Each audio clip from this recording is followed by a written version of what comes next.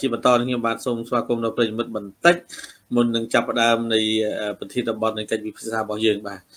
ជាដំបូងនេះខ្ញុំបាទសូមជម្រាបសួរដល់បងនៅតនផងដែរបាទសូមជម្រាបសួរដល់មីងសខតពីចម្ងាយផងសូមជម្រាបសួរដល់បងសុផានសូមជម្រាបសួរដល់បងរតម៉ាលី បាទសូមជម្រាបសួរបងចនីផងបាទហ្នឹងហើយសូមជម្រាបសួរលោកចាងសុខឿនបាទនឹងសូមជម្រាបសួរដល់ចិន្តាបាទសូមជម្រាបសួរ លោកពូរដ្ឋារដ្ឋាផងដែរសូមជម្រាបសួរម៉ាក់អូននៀតបាទសូមជម្រាបសួរម៉ាក់អូននៀតណាបាទបងសូមជម្រាបសួរបងហៀងសុកដែរបាទសូមជម្រាបសួរបងមេងជនីបាទសូមជម្រាបសួរដល់ម៉ាក់បុភាផងបាទនិងសូមជម្រាបសួរដល់បងប៊ីលីនូបាទសូមជម្រាបសួរដល់ប្រិយមិត្តដែលកំពុងតែទស្សនាការផ្សាយរបស់យើងខ្ញុំទាំងអស់នៅពេលនេះសូមបងប្អូនមេត្តាជួយ like និង share ដើម្បីឲ្យបងប្អូនដទៃទៀតគាត់បានតាមដាននិងទស្សនាការផ្សាយរបស់យើងខ្ញុំ ហើយនៅពេលនេះគឺយើងនឹងពិភាក្សាតកតងនឹងប្រធានបទមួយដែលដែលបានលើកឡើងថាតើត្រកូលហ៊ុន នៅតែប្រើប្រព័ន្ធតុលាការ ដើម្បីគម្រាមលើពលរដ្ឋក្នុងគោលបំណងដើម្បីបង្ហាញអំពីអំណាចនៃការដឹកនាំបន្តពូជនេះជាអ្វីដែលយើងឃើញមកដោយសារថ្មីថ្មីនេះគឺលោកហ៊ុនសែនគាត់បានចាប់ណាគាត់បានចាប់ដល់ជនពិការ ម្នាក់នៅពេលដែលគាត់និយាយនៅតាមបណ្ដាញសង្គមឥឡូវចាប់គាត់ដាក់គុកគម្រាមចោតគាត់ពីបទញុះញង់បង្កឲ្យមាន គេហៅថាអសន្តិសុខសង្គមហើយតកតងជាមួយនឹងក្រមពួកអ្នកនៅចលនានៅថៃនេះក៏ដូចជាមានរឿងមួយដែលមានការដែលអ្នកគ្រប់គ្រងគណៈបក ប្រជាជនកម្ពុជាគាត់បានលើកឡើងថាព័ត៌មានអាស៊ីសេរីដែលបង្ហាញពីក្រមការងារបងស្រីហុងអាននិយាយហ្នឹងគឺមិនការពិតទេអានេះជាអ្វីដែលគេចោទមកណាណាអញ្ចឹងជាព័ត៌មានមួយដែលយើងគិតថាគាត់មានអំណះអំណាងអីយ៉ាងណាទេប៉ុន្តែយើងក៏សូមមិនឆ្លើយតបជាមួយនឹងគាត់ទេប៉ុន្តែហើយប្រសិនបើក្នុងករណី ការគម្រាមរបស់លោកហ៊ុនសែនគឺគាត់បាននិយាយហើយគឺងើបមួយវាយមួយនេះជាអ្វីដែលជាការគម្រាមកន្លងមកហើយអ្វីដែលយើងឃើញទាំងអស់គ្នានៅក្នុងនេះគឺដោយដោយដោយដោយគាត់ចាប់មកហើយបានគាត់ចេញនីការអញ្ចឹងតឡាការក្រុងភ្នំពេញនេះគឺយើងប្រើប្រព័ន្ធមិនដឹងជាប្រព័ន្ធតឡាការបែបណាទេអឺឥឡូវនេះការចេញនីការចាប់ខ្លួនលោកប្រធានគណៈបកថ្មីមកលោកមីសវណ្ណារា ដែលគាត់នៅក្រៅប្រទេសឡើយទេប៉ុន្តែគាត់បានចេញនីការហើយឲ្យតែមកដល់ទឹកដីកម្ពុជាគឺចាប់តែម្ដងដោយពីបទដែលគាត់អឺនិយាយតកតងនឹងមិនគ្រប់គ្រងនឹងគម្រោង CLV ហើយតកតងជាមួយនឹងបងប្អូនពលកររបស់យើងបងប្អូនជនជាតិភៀសខ្លួននៅក្នុងប្រទេសថៃក៏ដូចជាប្រឆាំងជាមួយនឹងគម្រោង CLV ដែរអញ្ចឹងប្រសិនបើក្នុងករណីអឺ មិនគ្រប់គ្រងគម្រោង CLV គឺរបបក្រុងភ្នំពេញក៏ត្រូវតែចាប់ដែរមិនមិនឲ្យមាននីការទេអញ្ចឹងឲ្យតែទៅដល់នៅស្រុកខ្មែរឲ្យដល់នៅប្រទេសកម្ពុជា គឺចាប់តែម្ដងអត់បាច់ចាំមានដេកាមានអីទេអានេះជាអ្វីដែលយើងឃើញហើយអ្វីដែលរីរដ្ឋាភិបាលចោតនឹងគឺចោតពីបទញុះញង់បង្កឲ្យមានអសន្តិសុខសង្គមអានេះជាអ្វីដែលយើងហើយមួយទៀតអ្វីដែលលោកហ៊ុនម៉ាណែតលើកឡើងគឺ មានចេតនាចង់ផ្ដួលរំរីរដ្ឋាភិបាលហើយហើយហើយក៏បានដាក់ងីឲ្យក្រុមចលនានេះហៅថាជាចលនាជ្រុលនិយមដែរដែលជា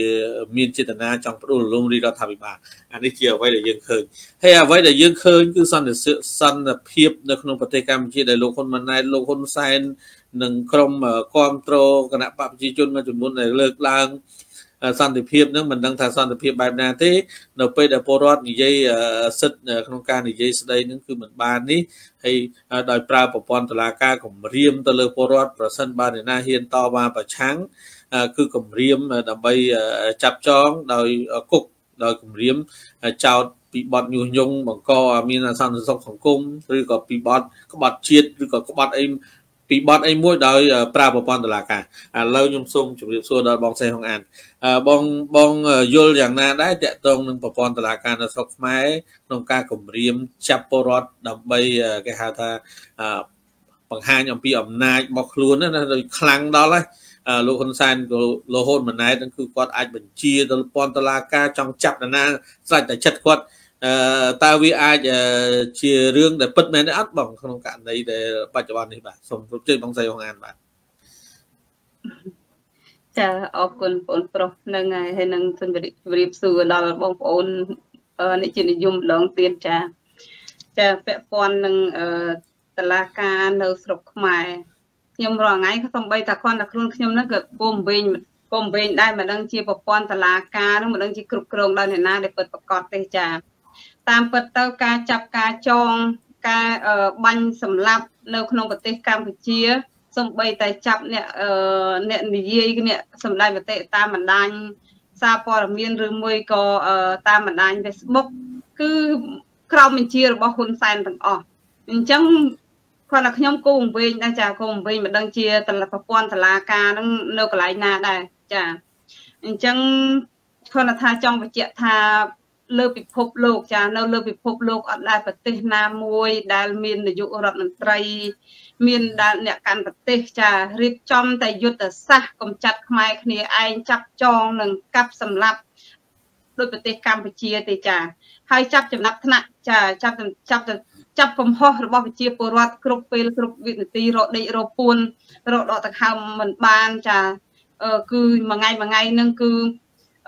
ជ្រាវជ្រៅកាន់តែ Facebook ហ្នឹងហើយកាន់តែ Facebook តាម TikTok តាមព័ត៌មានតាមអីផ្សេងផ្សេងតាម comment ហ្នឹងគឺរវល់តែប៉ុណ្ណឹងចារវល់តែប៉ុណ្ណឹងអត់មានរវល់រឿងបញ្ហាជាតិអត់មាន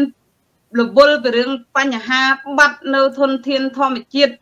ដែលកំពុងតែបំផ្លិចបំផ្លាញអុកញ៉ាអ ுக ្រិតកម្មណាមួយដែលកំពុងតែបំផ្លាញប្រជាពលរដ្ឋនៅក្នុងប្រទេសកម្ពុជាអត់មានខ្វល់ ចាអត់មានខ្វល់បង្កើតតែព្រឹត្តិការណ៍ចាប់ចងដាក់ពន្ធនាគារនិងកាប់សម្លាប់នឹងតែម្ដងចាដឹកនាំយូរយូរទៅគ្រាន់តែជាពាក់បំណុលបរទេសចានៅឆ្នាំនៅនៅឆ្នាំ2024នេះឃើញថាបំណុលឡើង11,000លានចា11,098លានចាហើយនៅនៅតាមពិតទៅនៅ គេព្យាករថានៅចុងឆ្នាំនេះប្រហែលជា12000ចា12400លានចាចាពាក់បំណុលគេចាយើងលានដុល្លារណាមិនមែនធម្មតាណាហើយហើយយើងប្រៀបធៀបថាការអភិវឌ្ឍនៅស្រុកខ្មែរសពថ្ងៃនេះអស់អស់ប៉ុណ្ណឹងឯងអញ្ចឹងអ្វីដែលធនធានដែលពុនដែលគ្រប់គ្រង40ឆ្នាំមកនេះដែលដឹកនាំដោយរបបហ៊ុនសែននេះវាអត់មានអីសល់ទោះតែសោះចា ធនធាននៅធម្មជាតិប្រទេសកម្ពុជាទាំងមូលអស់អត់សល់អីហើយស្ពាយតែបំណុលគេរាប់ពាន់លានទៅទៀតចាអញ្ចឹងអត់អត់មានចាអត់មានឃើញថាអ្វីដែលអ្វីដែលមានប្រយោជន៍ដល់ប្រជាពលរដ្ឋវាអត់មាន ចាវាអត់មានអញ្ចឹងយើងបានថាដើមឈើមួយ ចាដែលធំធាត់ទៅបានលុះត្រាតែមានរឹសកែវចា មានរឹសកែវមានដើមមានមែកមានសន្លឹកចាអញ្ចឹងយើងប្រៀបមកអឺប្រៀបថាឥឡូវគ្រប់ស្ថាប័នចានៅគ្រប់ស្ថាប័នដែល5ចាដែលធំធំដែលនៅក្រមស្ថាប័នដែលនៅក្រមការគ្រប់គ្រងរបស់រាជរដ្ឋាភិបាលអញ្ចឹងយើងមើលទៅស្ថាប័នព្រះមហាក្សត្រព្រះមហាក្សត្រវាអស់ទៅហើយចាវាអស់ហើយអត់មានសិទ្ធិអត់មានអំណាចអីអាលីងចាអត់ទេថាប្រជាពលរដ្ឋរងគ្រោះរងទុកវេទនាអឺ មហាក្សត្រតែងតែនិយាយថាទុករបស់ប្រជាពលរដ្ឋគឺទុករបស់ព្រះមហាក្សត្រប៉ុន្តែយើងចាប់ផ្ដើមពីដើមចមករហូតមកដល់បច្ចុប្បន្ននេះមិនដែលឃើញចាមិនដែលឃើញមហាក្សត្រអន្តរាគមទៅដល់ប្រជាពលរដ្ឋដែលកំពុងតែរងទុក្ខលំបាកជាពាក់បំណុលគេធ្វើចំណាប់ស្រុកទៅក្រៅប្រទេស មានការស្លាប់មានការគេចាប់ឃុំនៅអ៊ីរ៉ាក់អីជាដើមនៅនៅក្រៅប្រទេស ដែលអត់អត់មានអន្តរាគមហើយនៅគ្រប់កន្លែងដែលរងគ្រោះចាដាក់ពន្ធនាគារវាអត់មានចាអត់មានថាទុករបស់ប្រជាពលរដ្ឋគឺទុករបស់ព្រះមហាក្សត្រគិតពីរឿងទឹកដីវាអត់មានចាជឿទៅតាមការញុះញង់របស់ហ៊ុនសែនដាក់ដាក់ចាដាក់គំនាបទៅលើប្រជាពលរដ្ឋថាគេប៉ះពាល់ដល់ព្រះមហាក្សត្រចុះដែលហ៊ុនសែនឌីលព្រះមហាក្សត្រខ្ញុំចាំនៅឆ្នាំណាអញ្ចេះទីកណ្ដាលខ្ញុំភ្លេចបាត់ដែរ ព្រះហ៊ុនសែនបាននិយាយថាកាលហ្នឹងបកូនណាចាបកូនណាគាត់មានអឺមានប្រសាសន៍ថាហ្នឹងហើយមានប្រសាសន៍ថាគាត់នឹងដើរវាស់ព្រំដែនដោយខ្លួនឯងបោះបពលលើខ្លួនឯងចាតម្រាំតែគាត់សោយទីបង្គត់គាត់នឹងបោះព្រំដែនហើយចា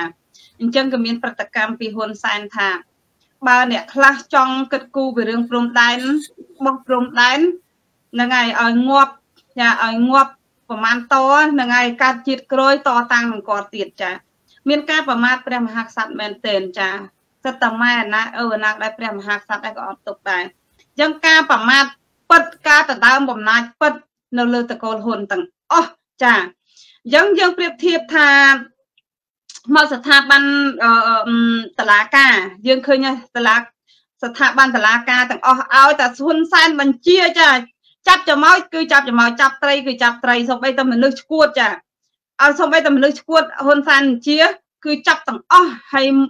ហើយយើងឃើញហ្នឹងហ៊ុនម៉ាណែតឡើងធ្វើនាយករដ្ឋមន្ត្រីតនអាន5 10ថ្ងៃផងតនអាន10ថ្ងៃផងតែចាប់មនុស្សចូលរូបក៏ចាប់មនុស្សឈួតដែរគាត់ថាគេហៅថាកូនអីណានៃហ្នឹងគឺចាប់ដាក់ពន្ធនាគារអញ្ចឹងបានទាំងឪទាំងកូនចាតាំងឪទាំងកូនក៏ទៅអត់មានអ្វីដែលសំខាន់ក្រៅពីចាប់ក្រៅពីចងអត់សល់មនុស្សឈួតអត់សល់មនុស្ស អឺ comment តាម Facebook អីអត់មានទេហ្នឹងហើយហើយចោះច្បាប់ចែងច្បាប់តាំងពីមេត្រា19ដល់មេត្រា40ច្បាប់សិទ្ធិមនុស្សច្បាប់សិទ្ធិប្រជាពលរដ្ឋដែលសម្ដែងមតិតាមសារព័ត៌មានបញ្ចេញមតិតាមអឺបណ្ដាលព័ត៌មានផ្សេងផ្សេងតាមបណ្ដាញ Facebook ហើយមានសិទ្ធិ ចាមានសិទ្ធិធ្វើបាតកម្មមានសិទ្ធិតវ៉ាអីសពបែបយ៉ាងហ្នឹងបាត់តាណាអស់អាចារ្យហ្នឹងហើយហើយបែរទៅជាយកអាសិទ្ធិប្រជាពលរដ្ឋនឹងយកមកចាប់យកមកចងគេរិះគន់អត់បានទៅវិញចាអញ្ចឹងនេះអឺតឡាការតឡាការនៅនៅប្រទេសកម្ពុជានេះវាអត់មានប្រព័ន្ធអីដែលយុត្តិធម៌តតែសោះវាអត់មាននេះចា គឺការគ្រប់គ្រងតឡាការគឺដោយតកូលហ៊ុនគ្រប់គ្រងតែឃាតកគ្រប់គ្រងតែអុកញ៉ាបោកគ្រប់គ្រងតែផ្កាយបោកគ្រប់គ្រងតែអឺអឺយួនដែលចូលមកចិនយួនដែលចូលមកបើកការរស់ស៊ីធ្វើភេរវកម្មអក្រិតកម្មជួញដូរថ្នាំញៀនជួញដូរមនុស្សជួញជួញដូរ ធនធានធម្មជាតិនៅស្រុកខ្មែរគឺតឡាការសម្រាប់សម្រាប់ការពារតពួកនឹងចាតែបើបើការពារប្រជាពលរដ្ឋវាអត់មានតតែសោះតាចានឹងតាំងពីខ្ញុំកើតមកខ្ញុំឃើញតឡាការនៅស្រុកខ្មែរប្រព័ន្ធតឡាការនៅស្រុកខ្មែរគឺហ៊ុនសែនក្តោបក្តាប់ ប្រព័ន្ធតឡាការបាន100%ដើម្បីដាក់គំនាបប្រព័ន្ធបង្ហាញអំពីអត្តពលបង្ហាញអំពីអំណាចផ្ទាល់ខ្លួនថាខ្លួននឹងមានអំណាចចង់កាប់ចង់សម្លាប់អ្នកណាក៏បានចានេះជាជារឿងពិតរបស់ប្រទេសកម្ពុជាហើយរលេះសពបែបយ៉ាងបង្រៀនចាបង្រៀនតាំងពីយុវតីយុវជនបរៀនចាស់បរៀនព្រះសង្ឃទាំងអស់បង្រៀនបង្រៀនអំពីការបំផ្លិចបំផ្លាញជាតិខ្មែរនឹងតែម្ដងចាអត់មាន បង្រៀនយុវជនណាព្រះសង្ឃណាដែលគិតពីរឿងសង្គមចាគិតពីរឿងបរិស្ថានគិតពីរឿងសង្គមទៅគម្រាមថាកុំអោយនិយាយអំពីសង្គមហើយរស់នៅក្នុងសង្គមរៀនច្បាប់រៀនពីគុណធម៌រៀនពីវប្បធម៌រៀនអំពីច្បាប់ប្រទេសកម្ពុជាឲ្យគ្នាមិនឲ្យនិយាយអំពីច្បាប់មិនឲ្យគិតពីរឿងសង្គមមិនដឹងជាឲ្យគិតពីរឿងអីទៅវិញចាមិនដឹងជាឲ្យយុវជនគិតពីអីទៅវិញមិនដឹងជាឲ្យកុមារគិតពីអីទៅវិញ បើប្រវត្តិសាស្ត្រអត់ឲ្យគ្នានិយាយទេនិយាយអំពីប្រវត្តិសាស្ត្រគឺចាប់ចាចាប់មួយគម្រាមគម្រាមយុវជនទូទាំងប្រទេសដូចជាលោកថាច់សិដ្ឋាលោកធឺធឿនវិរៈអីហ្នឹងសិតតែពាក់ព័ន្ធនឹងប្រវត្តិសាស្ត្រហើយអាការអាការចេញដេកាអាការចេញដេកាចាប់ខ្លួនបងអីមេមេបដែលថ្មីថ្មីនេះហ្នឹងហើយនឹងក៏ក៏មិនមែនជាការប្រឆាំងនឹង CLV ដែរចា ក៏ប្រឆាំងនឹងគាត់ដឹងពីប្រវត្តិសាស្ត្រហើយគាត់និយាយពីប្រវត្តិសាស្ត្រច្រើនដែរហ្នឹងហើយในការគម្រាមកំហែងកុំឲ្យគាត់ចូលស្រុកវិញអ្វីដែលប្រជាពលរដ្ឋខ្មែរយល់ដឹងអំពីប្រវត្តិសាស្ត្រវាអត់ទុកទេចាអត់ទុកទេចានេះជាចារនេះជាយុទ្ធសាស្ត្ររបស់យួនហើយបើគេនិយាយចំចំណុចយួនតែបន្តិចចាចង់ចំណុចយួនតែបន្តិចគឺចាប់អត់សល់អ្នកចាស់ជរាប្រកេបកាអីហើយហ្នឹងគេនិយាយត្រូវ ចាគេនិយាយត្រូវបើគេនិយាយខុសណាបើសិនតែខ្មែរយើងនិយាយខុសគឺអបគឺនិយាយអគុណសន្តិភាព ចាគ្រប់ត្រចា CLV អានឹងបានគេហៅថានិយាយខុសហើយចូលរួមក្បត់ជាតិជាមួយតកូលហ៊ុនតែបើថាគេប្រឆាំងគេមានការព្រួយបារម្ភរឿងប្រទេសជាតិអានឹងគេនិយាយត្រូវតែហ៊ុនសែនមិនមិនចាចាមិនអនុញ្ញាតឲ្យខ្មែរនិយាយត្រូវទេ ចាសពបែបយ៉ាងហើយឥឡូវនេះ យកខ្មែរធ្វើសត្រូវសពបែបយ៉ាងទាំងក្នុងប្រទេសទាំងក្រៅប្រទេសចាអញ្ចឹងបានថាបងប្អូន ដែលប្រឆាំងនឹង CLV ទាំងអស់ចាហ៊ុនសែនប្រកាសថាมันអាចចូលទៅក្នុងប្រទេសកម្ពុជាវិញបានទេចាជាសត្រូវរបស់ចាតកូលហ៊ុនចាជាសត្រូវរបស់យួនអញ្ចឹងវាពិបាកណាស់ពិបាករស់នៅណាស់សូម្បីតែប្រជាពលរដ្ឋដែលនៅថៃនេះចារាប់លានអ្នក ចាដែលគាត់ចង់ក្រោកឡើងគាត់ចង់ប្រឆាំងនឹងរាជរដ្ឋាភិបាលគាត់មិនអាចចូលរួមក្បត់ជាតិជាមួយតកូលហ៊ុនគឺពិបាកមែនទែនចាហើយពាក់ព័ន្ធចាពាក់ព័ន្ធនឹងព័ត៌មានពាក់ព័ន្ធនឹងក្រុមខ្ញុំធ្វើយុទ្ធនាការអីនេះគឺពួកខ្ញុំចាដរាបណាក៏ដោយប្រទេសជាតិចាកំពុងតែធ្លាក់ដុនដាបដល់មាត់ជ្រោះហើយចាមានការគម្រាមកំហែងពីស្ថានទូតចាហើយថ្មីថ្មីនេះម្សិលមិញហ្នឹងឃើញថា ដេញចាប់គុនដេតហ្នឹងមែនទែនចាហើយអឺអឺប៉លិសនឹងបាននិយាយថាគេដាក់មកហ្នឹងគឺក្នុងកលតិសៈណាដែរគុនដេតនៅកន្លែងណាក៏ដែរគេតាមចាប់គុនដេតឲ្យទាស់តែបានចានេះដែលចំណុចដែលព្រួយបារម្ភខ្ញុំក៏សូមអឺចាក៏សូមជូនដំណឹងនេះទៅដល់អង្គការចាអង្គការជាតិនិងអង្គការអន្តរជាតិចាខាង UN ប្រចាំនៅប្រទេសថៃចាជួយចាជួយអន្តរាគមដល់គុនដេតជាបន្ទាន់ផងបើអញ្ចឹងអត់អីចា របបភ្នំពេញនឹងវាធ្វើវាធ្វើហើយចាចាដល់ចំណាយនៅថវិកាប្រមាណក៏ដោយសូម្បីតែលក់ជាតិក៏ដោយលក់កាត់ទឹកដីឲ្យគេក៏ដោយឲ្យបានតែឈ្នះខ្មែរចានេះចំណុចដែលសំខាន់ដែលខ្ញុំដឹងចរិតរបស់តកូលហ៊ុនច្បាស់ចាចាសូមអរគុណចា បាទសូមថ្លែងអំណរគុណដល់បងស្រីហុងអានដែរដែលបានជូនដំណឹងនៅព័ត៌មានថ្មីថ្មីហើយសំខាន់សម្រាប់ដែលព័ត៌មានហ្នឹងគឺអ្វីដែលយើងបារម្ភហ្នឹងគឺបារម្ភលើគុណដេតណាហើយគឺរបបក្នុងភ្នំពេញគាត់នៅតែធ្វើទុកបុកម្នេញដល់បងប្អូនរបស់យើងនៅនៅប្រទេសថៃហើយមិនត្រឹមតែដល់គុណដេតទេសូម្បីតែព្រះអង្គសូម្បីតែខ្ញុំនេះក៏មានគេសួររដែរហើយមិនដឹងថាគេសួររ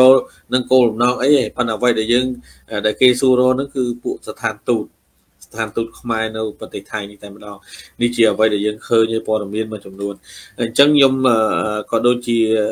ដូចបងថៃហងអានដែរក៏សូមជូនដំណឹងដល់បងប្អូនក៏ដូចជាបងប្អូនយើងនៅក្នុងប្រទេសថៃសូមធ្វើដំណើរទៅណាទៅណីក៏សូមមានការប្រុងប្រយ័ត្ន ព្រោះដោយសាររបបក្នុងភ្នំពេញនេះគឺមិនធម្មតាទេសូម្បីតែមកក្រៅប្រទេសហ្នឹងក៏អាចចាប់បានដែរនេះគឺជាអ្វីដែលយើងឃើញហើយបារម្ភទាំងអស់គ្នានៅក្នុងប្រទេសថៃ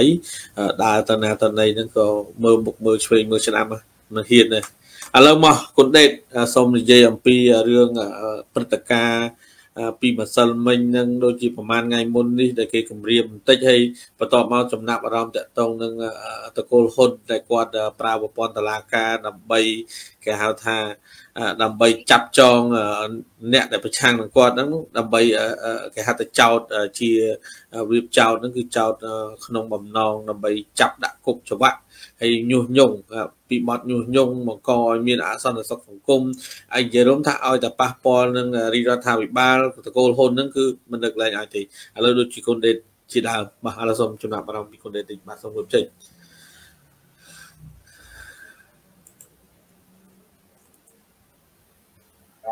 con chạm được cô phải ở cơ bản tại công an đó à ជាបានសូមមកសការគុណចាស់បានទៀត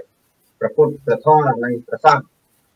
ទាំង9ទិសព្រះធម៌ទាំង84000កម្មដ្ឋានប្រតាំងកាយរយៈផងនិងសមាធិផងដែលជាសង្ឃាវៈបច្ចុប្បន្នត្រង់ស្បងជីវរដើម្បីប្រពុនរបស់សាអគុណសាសំណួរនេះវា អារឿងការតាមចាប់តាមចង់នោះវាជាទម្លាប់ទៅហើយរបស់របបលោកហ៊ុនសែននោះប៉ុន្តែគាត់អារឿងការនៃការកោះហៅនៃការតាមចាប់តាមអីនោះវាមិនមែនជាបញ្ហាដល់ខ្ញុំសំខាន់សម្រាប់ដល់ប៉ុន្តែវាតកតងអាយុជីវិតរបស់ខ្ញុំដែរប៉ុន្តែខ្ញុំសូមបញ្ជាក់នៅគោលចំហនឹងភាពរឹងមាំរបស់ខ្ញុំខ្ញុំមានអីត្រូវព្រួយនៅភ័យខ្លាចអំពីរបបគណៈបព្វជិជនកម្ពុជាហ្នឹងគាត់បកកាយចាប់វាបកកាយចងអញ្ចឹងយួតចូលនៅក្នុងប្រទេសកម្ពុជាមិនចាប់ អាមកចាប់អីអាពលរដ្ឋខ្មែរខ្មែរណែអ្វីដែលគេនិយាយការពិតទេពិតនៅក្នុងសង្គមប្រទេសកម្ពុជាដែលក្រោមការដឹកនាំរបស់លោកឯងយើងគួរគិតយើងគួរចារណាតើលោកឯងដឹកនាំដល់កម្រិតណាដែលពលរដ្ឋគេរីកគុណយើងត្រូវគិតយើងត្រូវចារណាក្នុងនាមជាបរដ្ឋគេរីកគុណដើម្បីការល្អស្ថាបនាគឺយើងភាពជាថាដឹកនាំយើងត្រូវទទួលយកនៃការពិតនៃតម្លៃការពិតកើតមកជាមនុស្សត្រូវរៀនรู้នៃតម្លៃការពិតបាទការរីកគុណពីសំណាក់អ្នកដទៃមិនមែនគេជន់ពលិចទេអ្វីដែលចំណុចការខ្វះខាតរបស់សាស្ត្រដឹកនាំគឺគេត្រូវរីកគុណ បាទគេត្រូវរីគុណយើងគេរីគុណហើយគេមិនមែនយើងត្រូវមានឯកាតាមចាប់តាមចង់អានេះវាជាទង្វើមួយដល់ស្មោកគ្រោកហើយនឹងជាទង្វើភាពការខ្វះខាតរបស់ថ្នាក់ដឹកនាំរាជរដ្ឋាភិបាលនៃប្រទេសនីមួយៗព្រោះអាភាពការបញ្ចេញមតិយោបល់តាមប្រព័ន្ធបណ្ដាញសង្គម Facebook សាធារណៈនេះវាមិនមែនជានាំឲ្យប្រទេសជាតិវាបាត់បង់ទេបាទអ្វីដែលគេត្រូវរីកុអ្វីដែលគេរីកុនៃការពារសិទ្ធិនិងអំណាចនៃសិទ្ធិសេរីភាពរបស់គេក្នុងនាមគេជាម្ចាស់ទេបាទ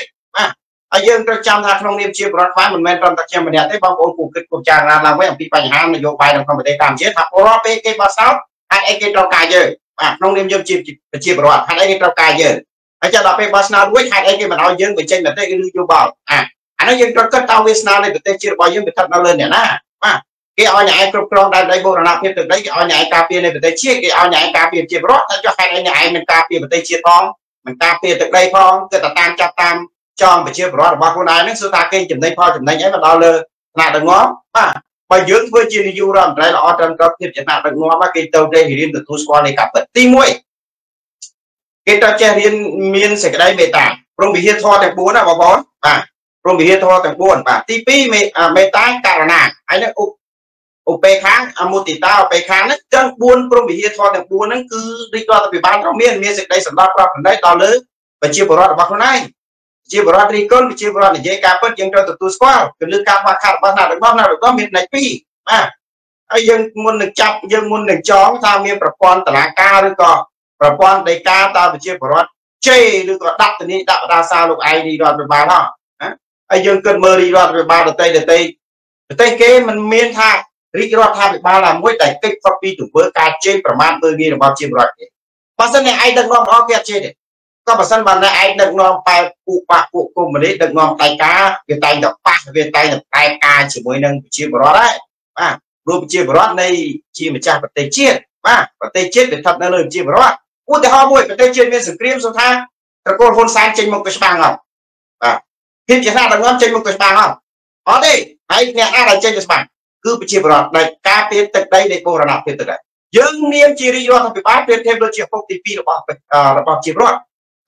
ឪពុកទី2របស់ជីវរដ្ឋគេឲ្យអ្នកឯងធ្វើធំគេឲ្យអ្នកឯងក្រងណាមែនអើយអញធ្វើធំហើយអញមានអំណាចហើយឯងហ៊ានខ្លាំងអីជាមួយអញឯងក្រកមួយអញចាប់ឯងដាក់គុកដាក់មកសវៈណូភាសានេះវាមិនស័ក្តិសមគូបីគាត់បីប្រើទេចំពោះរាជរដ្ឋាភិបាលបាទរាជរដ្ឋាភិបាលមួយគេមិនរកប្រាប់ពីអារបៀបបាត់ជាហៅថាភាពហឹង្សានៅក្នុងសង្គមនៃប្រទេសជាតិណា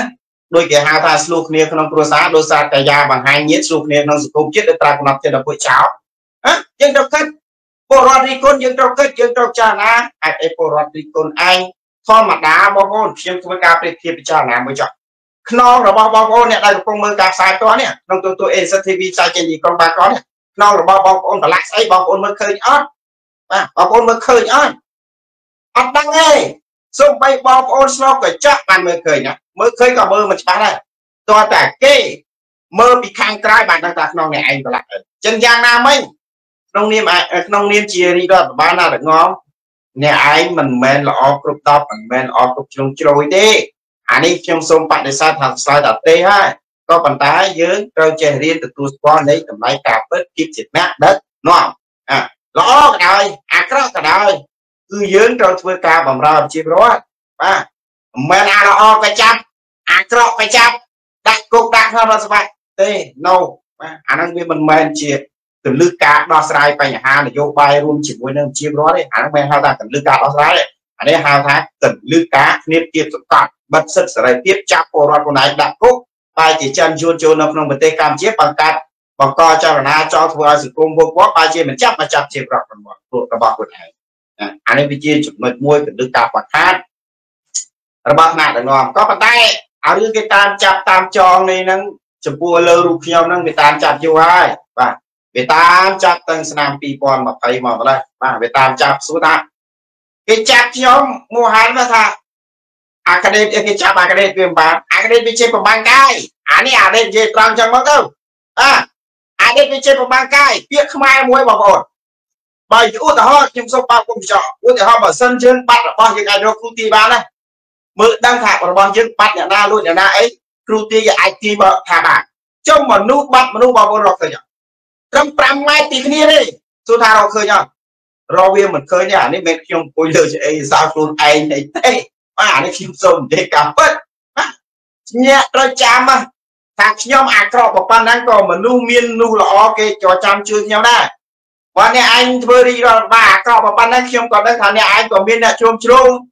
ក្រៅប្រទេសដើម្បីគ្រប់គ្រងលោកឯងដែរនៅលោកហ៊ុនសែនអានេះខ្ញុំសូមបញ្ជាក់អានេះខ្ញុំសូមបញ្ជាក់ហើយអារឿងការចាប់ការចងនេះអ្នកឯងត្រូវបានផលប្រយោជន៍ពីពលរដ្ឋនិងគណៈបពប្រឆាំងណាណាអ្នកឯងត្រូវយល់មូលហេតុអីគេប្រឆាំងអ្នកឯងមូលហេតុអីគេរិះគន់អ្នកឯងហើយចុះអ្នកឯងឡើងលើវេទិកាម្ដងម្ដងអ្នកឯងនិយាយតាមបាតាបាត់អីហើយហេតុអីអ្នកឯងមិនមានបំផុស ហេតុអីពលរដ្ឋគេរិះគន់តាមបណ្ដាញ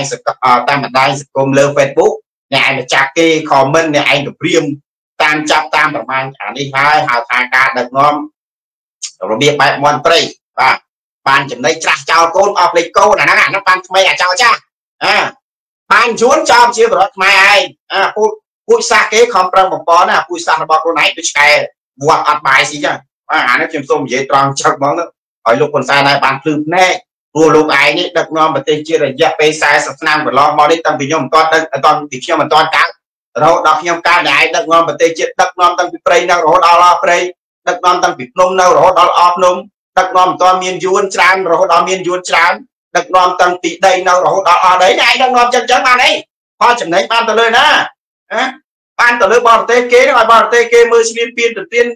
មកលើជាតិសាសន៍របស់ខ្លួនឯងអានេះខ្ញុំនិយាយមិនជន់បណ្ឌិតពីពលរដ្ឋរដ្ឋបាលកសាបរទេសគេទេ ក៏ប៉ុន្តែបើសិនរាជរដ្ឋាភិបាលមួយគេជាបែកពណ៌ភាពទុកតាមរបស់របស់បងប្អូនជារដ្ឋខ្មែរប្រជារាស្ត្ររបស់ឬក៏ប្រជាពលរដ្ឋរបស់ខ្លួនឯងបើនិយាយដល់ប្រជារាស្ត្រគេថាប្រជារាស្ត្រគេប្រើពុស្រេចអាពលរដ្ឋរបស់ខ្លួនឯងអានោះយើងត្រូវគិតយើងត្រូវចារណាបាទហើយដូចជាតួយ៉ាងគណៈប្រជាជនកម្ពុជានេះមិនមែនបញ្ញជាអ្នកបង្កើតណាក្បាលអាហូជីមិញណាបង្កើតឲ្យលោកអ៊ុនសែនឯងគ្រប់គ្រងតអំណាចដើម្បីតអំណាចមកគ្រប់គ្រងពលរដ្ឋខ្មែររាល់ថ្ងៃនេះខ្ញុំដឹងថាលោកឯងត្រូវរងគ្នាទៀតសម្គាល់ពីបរទេសគេក៏ប៉ុន្តែលោកឯងនេះខឹងគោបែរទេ ត្រូវបនុងបរទេសគេធ្វើបាបគេមិនបានមកធ្វើបាបជាសាស្ត្ររបស់ខ្លួនឯងវាថោកវាសមហ៎វាសមហ៎សាក់សាក់សមទូនាទីតំណែងជាឪពុកទី2របស់ជាប្រវត្តិអត់ទេ no អានេះខ្ញុំសូមបដិសេធថាស្ថាតា no ចឹងមកបើសិនខ្ញុំធ្វើជាមេដឹកនាំខ្ញុំត្រូវធ្វើតាមការផែនការគោលការណ៍របស់ជីវរដ្ឋបាទព្រោះពីជីវរដ្ឋផ្នែកច្រើនខ្ញុំមានផ្នែកពីរទេជីវរដ្ឋមានផ្នែកដូចផ្នែកមនុស្សរាប់ពាន់រាប់ម៉ឺនរាប់លាន ចាំតែចាប់ចំណុចកលឹះការខ្វះខាតរបស់រាជរដ្ឋាភិបាលអាហ្នឹងយើងកន្លែងណាគេរីកូនមកយើងត្រូវទទួលយកស្ដាប់ហើយនឹងការពិចារណាសុជីប៉ូលីសស្ដាប់ហើយគិតគិតឲ្យកត់ក៏ឲ្យប្រាកាយចាំផងអាហ្នឹងយើងត្រូវចឹងហ៎មិនអីឯងអញមានអំណាចអញទៅចាប់ឯងឆ្មបានបានបានអត់ទេអំណាចរស់នៅក្រោមច្បាប់ណាអំណាចរស់នៅក្រោមច្បាប់មិនមែនជីវិតរបស់លោកឯងជីវិតអមតៈទេលោកពុទ្ធសាស មុននឹងលោកឯងស្លាប់លោកឯងគួរតែសាងសេចក្តីល្អទាំងធ្វើល្អដាក់ទៅលើជីវប្រវត្តិណាដាក់ទៅលើជាតិសាសន៍របស់ខ្លួនឯងបាច់ប្រឹងបំពន់ទេអាពុយសាសន៍ដតីនាមជាចោលវានៅតែប្រវត្តិសាស្ត្រជាចោលហ្នឹងអាប្រវត្តិប្រវត្តិសាស្ត្រអាយួនវៀតណាមហ្នឹងវានៅតែជាចោលហ្នឹងមនុស្សដែលធ្លាប់លួចគេម្ដាយអាម្ដងហើយនៅជាប់ឈ្មោះឆ្អុយឈ្មោះអាសោគេឈ្មោះជាចោលរហូតបាទអញ្ចឹងយ៉ាងណាមិញលោកអ៊ុនសានឯងគួរតែគិតហើយនឹងចារណាដូចបញ្ហារឿងថ្មីថ្មីគម្រោងត្រីកោណ CLV គេឲ្យលោកឯងដកខ្លួនចេញលោកឯងគួរតែដកបើលោកឯងមិនដកទេយ៉ាប់ជាប្រវត្តិដកលោកឯងចេញសួរថាលោកឯងយ៉ាប់ប្រយ័ត្នងាប់ណាលោកតែណាប្រយ័ត្នងាប់ណាខ្ញុំក៏អត់ប្រាប់ទេងាប់ហ្នឹងមិនមែនងាប់អាយុនៅបាត់បង់អាយុជីវិតរបស់លោកឯងទេគឺងាប់តម្លៃកិត្តិយសគេឈ្មោះរបស់លោកឯងលោកឯងត្រូវគិតលោកឯងត្រូវចារណាអំពីបញ្ហាផែនការដែលយួនវិរិយចង់ពួនសម្រាប់ខ្មែរដែលមានលោកឯងនៅពីក្រៅខ្នងលោកឯងចាញ់ល្បិចកំលោកគុំយួនទាំងស្រុងបាទចាញ់ល្បិចកំលោកគុំយួនទាំងស្រុងដឹកនាំយូរយូរទៅ មានតែយួនមានតែចិនចូលអុកឡុកនៅក្នុងប្រទេសកម្ពុជាពលរដ្ឋឯងរីគុណបញ្ហាដូចបងប្រុសកនសរណមិនមែនឆ្កែនេះកំដាស់រឿងចាស់កំបោកកំឡឹកមិនមែនរឿងបញ្ហាសង្គមនយោបាយយកមកចាញ់ចាស់គ្នាយើងធ្វើយើងនិយាយយើងជាការពិតដើម្បីយកមកធ្វើការប្រៀបធៀបនឹងការពិចារណាវែកញែកឲ្យអាណាខុសអាណាត្រូវបាទក្នុងនាមខ្ញុំជាបរិបទខ្មែរខ្ញុំសូមឈរលើអញ្ញាកណ្ដាលចាបាទព្រោះប្រទេសជាតិនេះខ្ញុំដឹងថាគ្មានវាគ្មានថាទៅលើបុគ្គលណាទេវាស្ថិតនៅលើជាបរិបទ អាយេឲ្យយើងធ្វើធំហ្នឹងគ្រប់គ្រងនៃបូរណៈនៃប្រទេសជាតិគេរិះគន់យើងត្រូវគិតយើងត្រូវចរណាចំណុចកលឹកការខ្វះខាតកន្លែងណាល្អកន្លែងណាអាក្រក់តើវាខុសតើវាត្រូវណាយើងដឹងសដឹងខ្មៅដែរតាចំណុចជាបរដ្ឋគេនិយាយគេរិះគន់ហេល្អតាកន្លែងហ្នឹងគួរយកតម្រាប់តាកុំប្រកាន់ភាពអាស្មេមីនេះអានយូររដ្ឋមន្ត្រីថ្មើលអត់សាសនាអាហ្នឹងខុសហើយបាទអ្នកឯងកាន់តែខុសហើយអ្នកឯងកាន់ប្រព្រឹត្តពីទោសធ្ងន់ហើយបាទអ្នកឯងកាន់តែប្រព្រឹត្តពីទោសធ្ងន់ណាបើមនុស្សខុសហើយបងប្អូន អានេះខ្ញុំមិនមែននិយាយបដៅសំដៅទៅលើហ៊ុនសែនទេអ្នកណាក៏ដូចអ្នកណាដែរដូចគ្នាបើមនុស្សខុសហើយចេះមកកែគេហៅថាជនជាបណ្ឌិតណាតែអាមនុស្សខុសហើយធ្វើជាបពៀនថែមណាខ្ញុំប្រាប់ធ្ងន់ណាស់បាទធ្ងន់ណាស់អានឹងជាជាប់ជាប្រវត្តិសាស្ត្របើដោយលោកហ៊ុនសែននិងហ៊ុនម៉ាណែតអីរាល់ថ្ងៃនេះដឹកនាំប្រទេសជាតិតាំងពីឪរហូតដល់កូនផលចំណេញស្អីនៅលើប្រទេសកម្ពុជាមានតែការយំជ្រែកត្រែកកហោយំ របស់បងប្អូនប្រជាពលរដ្ឋខ្មែរដោយអ្នកស្រីហងអានគាត់បានលើកឡើងមកពីខាងដើមមកមិនចឹងអាយើងគិតយើងយកចារណាអំពីបញ្ហាគោលការណ៍នយោបាយរបស់ចំពោះរាជរដ្ឋាភិបាលរឿងការដេញចាប់ដេញចងនេះមិនមែនចាប់តែខ្ញុំទេអ្នកណាក៏គេចាប់ដែរឲ្យតែពលរដ្ឋណាក៏ដោយឲ្យតែនិយាយការពិតធៀបពិតសង្គមពិតនៅក្នុងប្រទេសកម្ពុជាដែលមានការឡើងនៅក្រោមការដឹកនាំរបស់កូនហ៊ុនសែននេះគេនិយាយហើយអាខ្លាចនិយាយបាទពលពលរដ្ឋរាល់ថ្ងៃនៅក្នុងស្រុកគាត់តឹងទ្រូងស្ទើរប្រេះអោរ៉ាអោបាទ រាល់ថ្ងៃវាបោកកតែដល់ច្រមុះអួតបោកតិចឲ្យអានោះគ្រូរាល់ថ្ងៃនៅប្រឹងកអាចដកដៅបានតែដល់ច្រមុះហើយចប់ហើយទៅដល់ច្រមុះហើយចប់ហើយហើយបើយើងគិតមើលដូចជួមន្ត្រីរាជការស្ថាប័នក្រសួងនានានៅក្នុងប្រទេសកម្ពុជាដែលស៊ីប្រាក់ខែជាប្រវត្តិអាកូនវាគាត់កើតមកតន់ធ្វើកិច្ចការងារឯការផងសិតតែឈ្មោះបានប្រាក់ខែមួយខែ500មួយខែ600បាត់តែអាកូននឹងដែលទៅធ្វើកិច្ចការងារខ្ញុំនិយាយនេះទេមិនមែន ទាំងអស់ទេកូនអស់លោកអ្នកធំមួយចំនួនក៏គាត់ខំប្រឹងប្រែងធ្វើកិច្ចការងារបម្រើសង្គមនៃប្រទេសជាតិដើម្បីនៃប្រទេសជាតិយើងទាំងអស់គ្នាដែរបាទអានេះខ្ញុំនិយាយនឹងចំពោះបុគ្គលតែបុគ្គលមួយចំនួនទៀតអាចឆ្កែដល់អាហ្នឹងអាចឆ្កែដល់ស៊ីបាយដេកស៊ីបាយដេកដល់ពេលបរដ្ឋមានទុកមានបញ្ហាចាប់ដើមដាក់អាកបាត់កនៅក្នុងកុំដូពួកអានរោចាប់ជាតិអស់នេះវាចឹងមែនណាវាមិនសាកសមតំណែងនៃទូនទីរបស់វាមិនត្រឹមតែប៉ុណ្ណោះហ៊ុនសែនក៏ដូចគ្នាដែរអាពេលគេនិយាយគេរីកូនចាប់ដើម ភ្នែកច្រឡោតតតងអាគូក្បាលដែលយូនដាក់មកឲ្យហ្នឹងចាប់ដើមខឹងស្លែភ្នែកឡើងលើវេទិកាម្ដងណាអញតាំងវាយអញតាមបញ្ចាត់អញតាមចងឯងងើបមួយវាយមួយងើបពីរវាយពីរវាយ៉ាក់គេងើបទាំងអស់ងើប17 16លានអ្នកហ្នឹងងាប់រត់ដល់រួចដល់ហើយអើអើយ៉ាក់តែគេងើបទាំងអស់ហ្នឹងរត់តែព្រះអាយុដល់ហើយអាហ្នឹងខ្ញុំសូមជម្រាបចឹងអានេះសូមជម្រាបឲ្យលោកប្រសាទដែរបានដឹងខ្លួនភ្ញាក់ខ្លួនឡើងមកវិញមក កុំអាខ្លួនខយប្រព្រឹត្តទង្វើអាក្រក់ហ្នឹងមិនមែនត្រឹមតែអាក្រក់លោកឯងខ្ញុំគាត់ប្រាប់ណាបាទតកូលពូជលោកឯងណាតកូលសាដែរមកពូជអាហ្នឹងមកពូជចឹងមកនិយាយពូជពូជចឹងខឹងតិចបានតិចកតុយខឹងខឹងមិនមុខម៉ែស្អីអានេះរាល់ថ្ងៃដែលសុំបាយហ៊ុនសែនស៊ីបង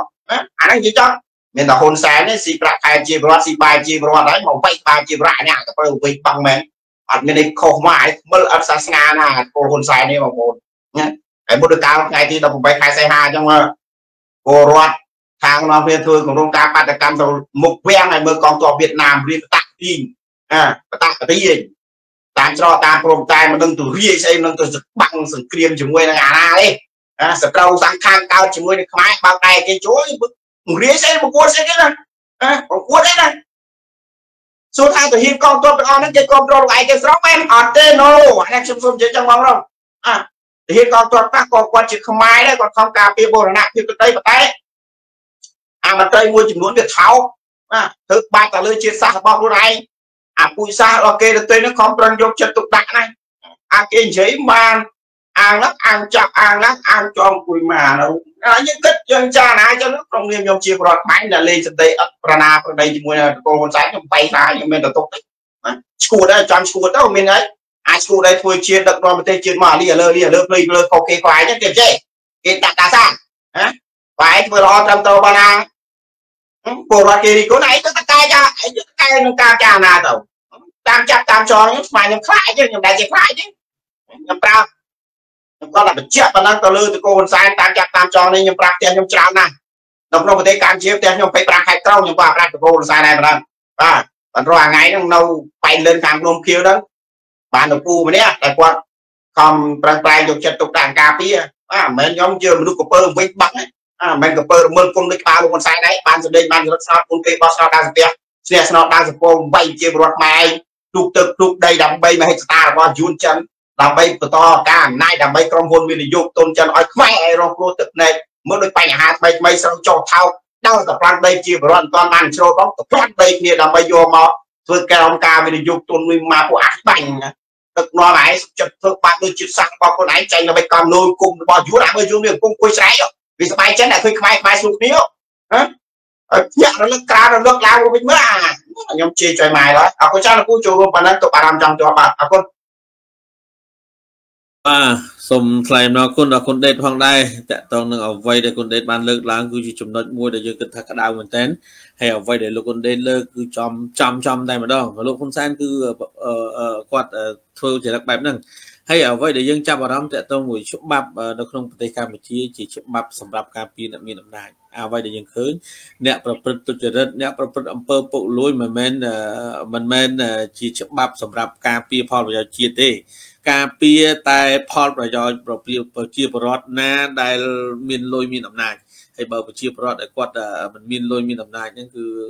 អយុត្តិធម៌គឺត្រូវបានស្លាប់បាត់ទៅហើយនេះជាអ្វីដែលយើងឃើញកន្លងមកទៅតាក់ទងនឹងបងប្អូនយើង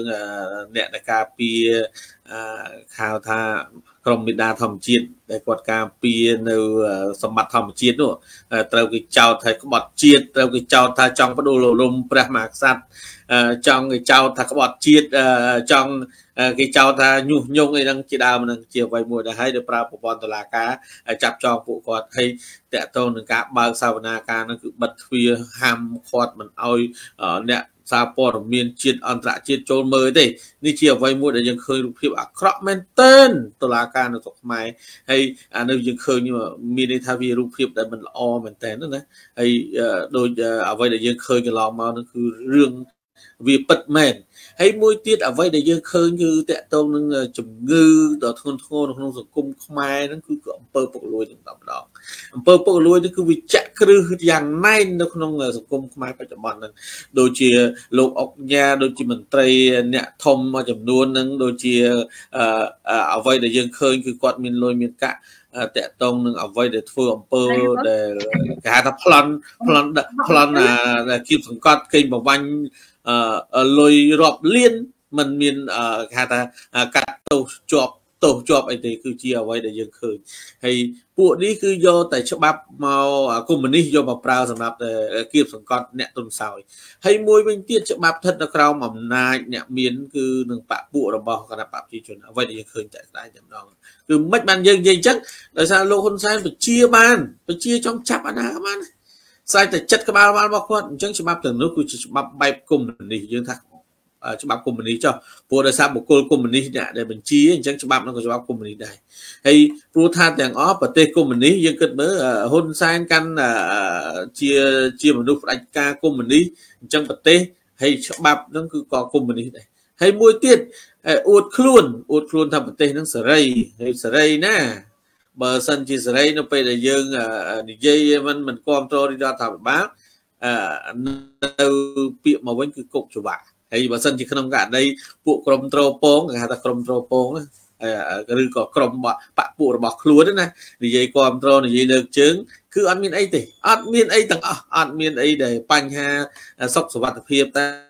បើយើង និយាយប្រឆាំងនិយាយមិនគ្រប់គ្រងរបបដឹកនាំរបស់លោកហ៊ុនសែនគឺមានតែគុកច្បាប់ទេហើយអួតខ្លួននិយាយថាប្រទេសហ្នឹងគឺសេរីអឺអឺហើយសេរីភុបៈនឹងអាហ្នឹងគឺលោកហ៊ុនសែននិយាយតែម្ដងហើយមួយទៀតតកតងនឹងលោកធំកូនលោកធំមិនមានគេហៅថាមានរឿងដូចជាតកតងជាមួយនឹងការបាញ់មិនដូចជារឿងដែលអ្វីដែលយើងឃើញដូចជាហូររឿងហ៊ុនតូក្មួយហ៊ុនតូក្មួយហ៊ុនសែនហ្នឹង ដែលមានលុយមានអំណាចច្រើនហើយអាងអំណាចអាងអីហ្នឹងគឺដើរអូមកនៅទីក្រុងភ្នំពេញហ្នឹងមានតាគេទាំងហ្មងដើរកំព្រៀមកំហែងឲ្យតាណាខ្លាំងជាងហើយឥឡូវ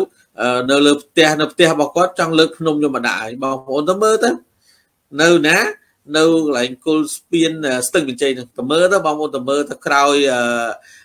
អង្គផ្ទះកងតំណងតាល់គឺទៅមើលទៅមកឃើញភ្នំនៅហ្នឹងហើយហើយនៅមួយទៀតនៅស្តុបចកាមន បងប្អូនទៅមើលទៅផ្ទះមានពីរកន្លែងអ្វីដែលខ្ញុំនិយាយនេះហើយបងប្អូនទៅមើលខ្លួនឯងទៅចង់លើកភ្នំមកដាក់ហើយមកលើកមកមកមកដាក់នៅផ្ទះហើយនេះជាអ្វីដែលយើងឃើញហើយមួយទៀតច្បាប់មិនបានចាប់ពួកអក្រិតជនហ្នឹងឬក៏ចាប់អ្នកទោសហ្នឹងដាក់ពន្ធនាគារឡើយចំពោះអ្នកមានអំណាចឬក៏មានលុយមិនសោកប៉ាន់ជាមួយនឹងលោកហ៊ុនសែនគឺអត់ទេ នឹងអ្វីដែលយើងឃើញជាក់ស្ដែងឥឡូវខ្ញុំសូមសួរសំណួរបងមួយតកតងនឹង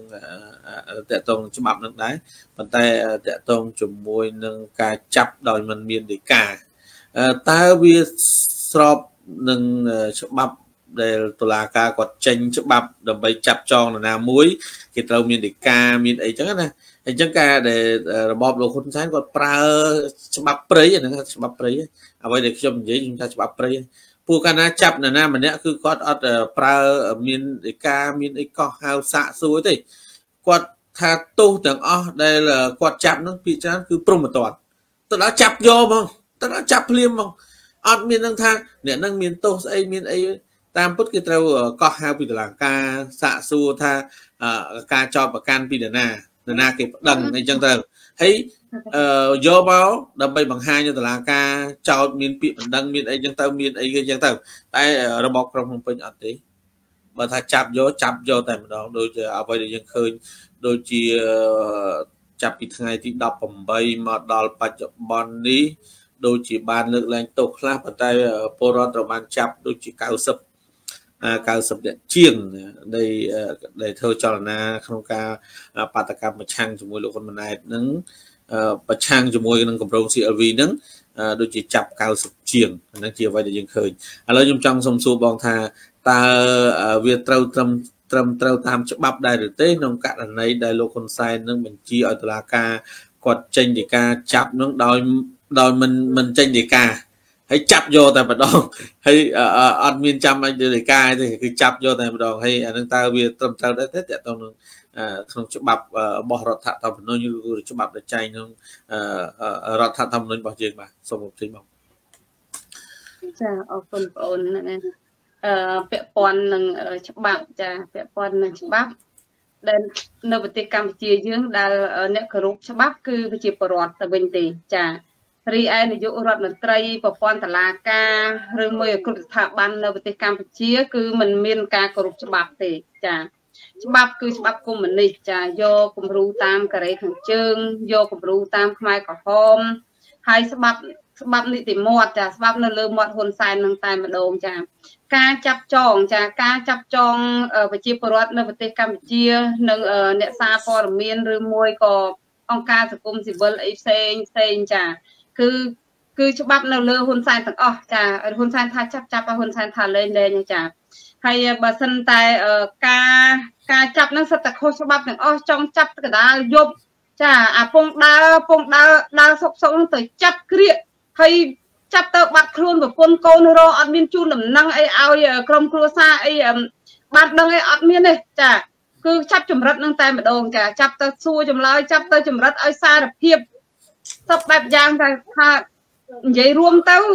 យកច្បាប់ច្បាប់ហ៊ុនសែននោះដូចច្បាប់អក្រិតជនចាចាចម្រិតចាចម្រិតឲ្យសារភាពឲ្យឆ្លើយដាក់ជាពិសេសឲ្យឆ្លើយដាក់លោកប្រធានសំរងស៊ីចា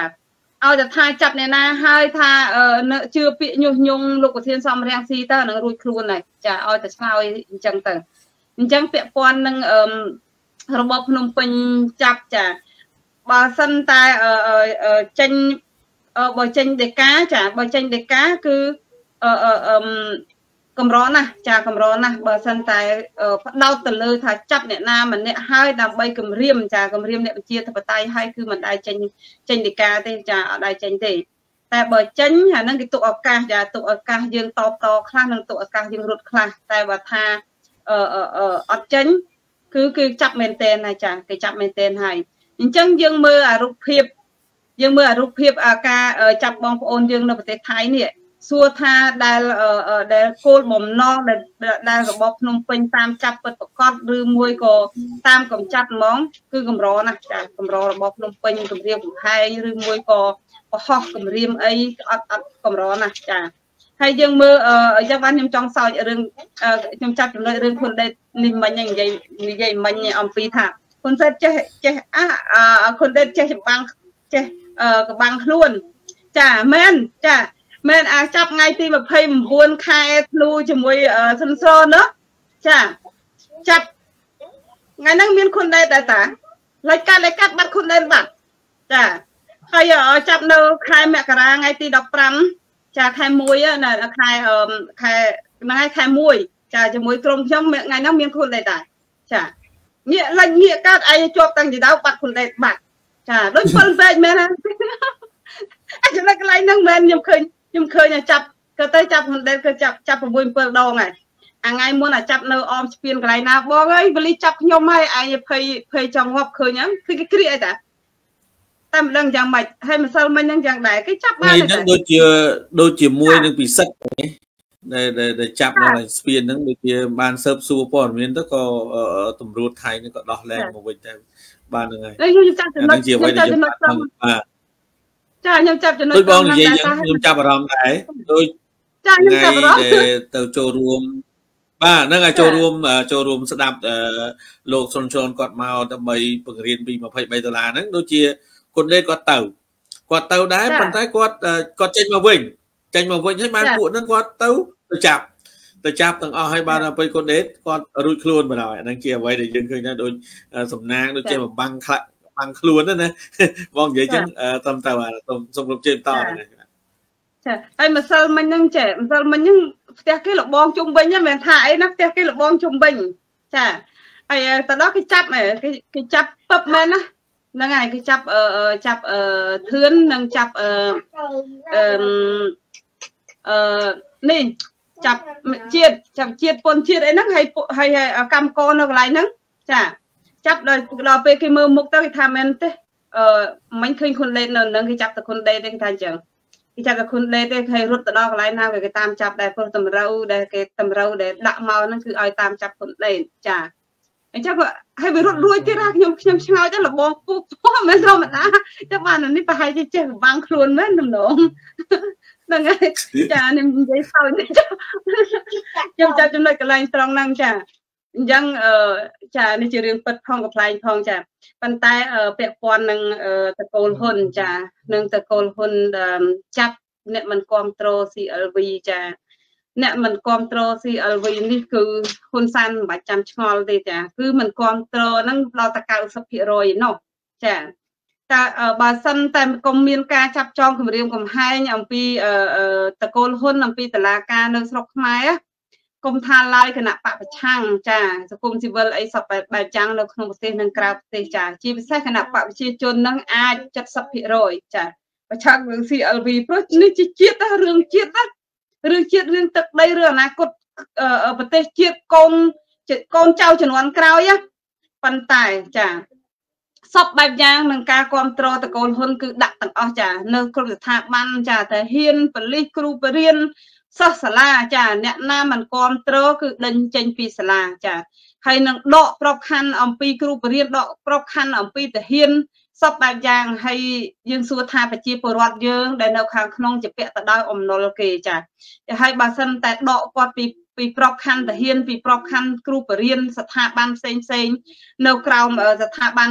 ការគ្រប់គ្រងរបស់កូលហ៊ុនហើយតើឲ្យគាត់បានអីសងគេបានអីហូបចាអញ្ចឹងការគ្រប់គ្រងរបស់គាត់នឹងគាត់ដឹងថាគ្រប់គាត់ខុសចាគាត់ខុសតែធ្វើយ៉ាងម៉េចចាធ្វើយ៉ាងម៉េចបើនៅក្នុងនៅក្រោមអំណាចរបស់គេនៅក្នុងប្រទេសចាអញ្ចឹងខ្ញុំអត់អត់បន្ទោសទេ ហ៊ុនសែនចូលចិត្តណាស់អារឿងប្រខិតប្រខំគេឲ្យទទួលឲ្យឲ្យឲ្យគ្រប់គ្រងខ្លួននឹងសំបីតែនៅក្រៅប្រទេសចាក៏លក់ជាតិលក់ទឹកដីចាជួលសត្វតែជួលទាំងអស់ចាជួលទាំងនៅក្រៅប្រទេសទិញទាំងនៅក្រៅប្រទេសហ្នឹងដើម្បីឲ្យគ្រប់គ្រងខ្លួនពេលដែលខ្លួនធ្វើដំណើរទៅប្រទេសណាមួយហ្នឹងគឺដឹកចាដឹកប្រជាពលរដ្ឋដឹកអ្នកគ្រប់គ្រងហ្នឹងគឺទៅទាំងពាន់ទាំងពាន់ហ្នឹងតែម្ដងហើយ ហើយចំណែកឯចំណាយថវិកាគឺចំណាយថវិការបស់រដ្ឋចំណាយថវិការបស់យើងរាល់គ្នាដែលបងពុនហ្នឹងចាអញ្ចឹងសពបែបយ៉ាងគឺគាត់ធ្វើដើម្បីអំណាចរបស់គាត់ទាំងអស់ចាហើយឥឡូវនេះយើងមើលឃើញហើយអ្នកសំបីតែយ៉ាងណាដែរអ្នកអត់គ្រប់គ្រង CLV ដែលអត់គ្រប់គ្រងដែលតកូលហ៊ុនកាត់ទឹកដីឲ្យគេហ្នឹងគឺវា60 70%តែហ៊ានប្រឆាំងទោះបីតែយ៉ាងណាក៏ដោយ ការគម្រាមកំហែងទៅដល់ក្រមគ្រួសារទៅដល់មានការប៉ះពាល់ទៅដល់ទ្រព្យសម្បត្តិនៅក្នុងប្រទេសចាប់ចងគម្រាមកំហែងនៅនៅគ្រប់ប្រទេសនៅគ្រប់ប្រទេសហើយបញ្ជា ចាបញ្ជានៅស្ថានទូតខ្មែរនៅលើពិភពលោកឲ្យចាប់ចំណាប់ចាទៅលើអ្នកអត់គ្រប់គ្រងអឺពលករនិងកម្មករនៅទូទាំងប្រទេសដែលមិនគ្រប់គ្រង CLV ហ្នឹង ចាឲ្យដាក់ចាគំនាបទៅលើពលករយ៉ាងណាក៏ដោយគឺនៅតែយុវជនចានៅលើពិភពលោកខំក្រោកឡើងចាខំក្រោកឡើងគ្រប់ទីកន្លែងនឹងតែម្ដងចាអញ្ចឹងហើយចំណុចកន្លែងនេះហើយដែលខ្ញុំសូមថ្លែងអំណរអគុណចាចំពោះយុវជនចាដែលនៅក្នុងប្រទេសដែលនៅក្រៅប្រទេសឃើញហើយយុវជនដែលខំប្រឹងបង្កើត Telegram បង្កើតតាម Facebook ចានៅក្នុងប្រទេសជាក្រុមជាក្រុមចា ហើយយើងឃើញខ CLV នេះឃើញថាចាប់ចាជាង90នាក់ចាជាង90នាក់ទៅហើយចាអញ្ចឹងគ្រាន់តែគេបញ្ចេញមតិស្រឡាញ់ជាតិនិងមិនគ្រប់គ្រងខ្លួនដែលបកគលទឹកដីទៅឲ្យគេនឹងអញ្ចឹងចាអញ្ចឹងអត់មានអីអត់មានអីដែលយើងសង្ស័យទៀតទេចាអត់មានអីយើងសង្ត្រូវសង្ស័យថាហ៊ុនសែនគ្រប់គ្រងប្រទេសកម្ពុជានឹងធ្វើដើម្បីប្រទេសជាតិធ្វើដើម្បីជាតិខ្មែរនឹងវាអត់មានចា ហើយថ្មីថ្មីនេះឃើញថាហ៊ុនម៉ាណែតចាហ៊ុនម៉ាណែតលុយលក់ជាតិទាំងមូលអស់អាលីងចាអស់អាលីងទាំងមូលហើយចារហូតដល់ជួលចាជនបរទេសខ្មែរដាក់សញ្ជាតិឲ្យគេនៅលើពិភពលោកជួយលៀងលុយសពបែបយ៉ាងហើយនៅមានការរៃអង្គាសចាធ្វើផ្លូវកបាត់ក្រុងហើយការធ្វើផ្លូវកបាត់ក្រុងហ្នឹងណាខ្ញុំមើល ដូចថាជួភ្នំដងរែងអញ្ចឹងខាងនេះព្រៃថៃខាងខាងនេះថៃខាងនេះខ្មែរអញ្ចឹងមិនមែនហ៊ានធ្វើនៅលើជួភ្នំដងរែងហ្នឹងទេចាធ្វើចូលមក50 60គីឡូឯណោះនៅប្រទេសយួននឹងក៏អញ្ចឹងដែរធ្វើកបាត់ក្រុងមិនមែនថាឥឡូវមានព្រំដែនស្រាប់ចាព្រំដែនស្រាប់ពីជំនាន់បារាំងមកហើយធ្វើតាមព្រំដែនហ្នឹងវាអត់មានទេចាវាអត់មានទេធ្វើគឺធ្វើចូលមកប្រទេសខ្មែរហ្នឹងដូចដូចគូសផែនទីនឹងឲ្យយួនចូលមក50គីឡូឬមួយក៏40គីឡូនឹងមកទៀតចឹងចា នឹងការធ្វើផ្លូវថ្នល់ហើយអត់មានធ្វើអីអស់ចាទេផ្លូវថ្នល់នឹងធ្វើអីចាពីខេត្តរដូវមានជ័យមកមកដល់ខេត្តពោធិ៍សាត់នឹងធ្វើនឹងធ្វើលួយលួយនឹងឯងចាធ្វើឆ្នាំនឹងនឹងស្អែកនឹងឡាលួយលួយអស់ដែរចាទឹកហូរកាត់នឹងបាក់តិចនឹងនឹងធ្វើផ្លូវអញ្ចឹងឯងអត់មានអ្វីដែលជារឹងមាំជាកបាត់ឲ្យធ្វើផ្លូវកបាត់ក្រុងហ្នឹងអត់ស្មើនឹងប្រទេសជប៉ុនអត់ស្មើនឹងប្រទេសថៃធ្វើធ្វើផ្លូវភ្លឺស្រែគេផងណាចា ហើយទៅអង្គាប្រជាពលរដ្ឋកំពុងតែជាពាក់បំណុលគេកំពុងតែអឺរត់ចោលស្រុកសពបែបយ៉ាងអត់មានអីចិញ្ចឹមគ្រួសារហើយទៅអង្គាមណុលហើយជាពិសេសឥឡូវហ្នឹងខ្ញុំមានព័ត៌មានមកគឺកាត់ចាកាត់លុយតាមស្ថាប័នទាហានតាមស្ថាប័នគ្រូបរិញ្ញាអីហ្នឹងគឺការកាត់លុយអត់មានសល់អីទេចាយកចាយកកាត់លុយពីប្រាក់ខែចាហ្នឹងហើយឲ្យគេធ្វើធម្មទានឲ្យនឹងឲ្យបរិច្ចាគ ធ្វើផ្លូវខ្នល់ចានេះខ្ញុំមិនដឹងជាយ៉ាងម៉េចចាមិនដឹងជាយ៉ាងម៉េចថាអើហើយកាន់ក្តាប់ប្រទេសចាកាន់កាន់ក្តាប់ប្រទេសគឺយកពុនរបស់ប្រជាពលរដ្ឋយកមកសម្រាប់ប្រជាពលរដ្ឋហើយបែរទៅជាចាខ្ចីលុយពីបរទេសយកមកចិញ្ចឹមឃាតករយកមកចិញ្ចឹមចារកម្មរបស់ខ្លួនយកមកបរិងបរិយអំណាចរបស់ខ្លួនបែរទៅជាកូននេះកូនមកដល់កាន់ក្តាប់ប្រទេសហើយចលើសឪទៅទៀតគ្រាន់តែកាន់ក្តាប់ប្រទេសភ្លាមអស់ព្រៃឈើ ចាអស់ព្រៃឈើមិនតិចទេរាប់រាប់ម៉ឺនហាត់ចាហើយជាពាក់បំណុលគេថែមពាក់ពាក់ព័ន្ធនឹងអឺចាប់អ្នកវិជាធិបតេយ្យដាក់ពន្ធនាគារក៏រឹតតែកើនឡើងប្រជាជនបោកប្រាស់ក៏រឹតតែកើនឡើងហើយរីឯកំចាត់យុវជន ចាប់ពន្ធនាគារក៏រឹតតែកើនឡើងចាហើយការចុះចាការចុះសញ្ជាតិ